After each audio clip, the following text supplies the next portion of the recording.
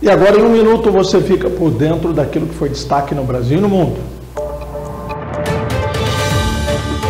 O Índice Nacional de Preços ao Consumidor Amplo, o IPCA, que apura a inflação oficial do país, subiu 0,84% em fevereiro. Com o resultado, o indicador acumulou alta de 1,37% no ano e de 5,60% nos últimos 12 meses. O maior impacto no índice de fevereiro foi causado pelo grupo Educação, que pesou 0,35 ponto percentual, ao apresentar a maior variação, 6,28%, informou o IBGE.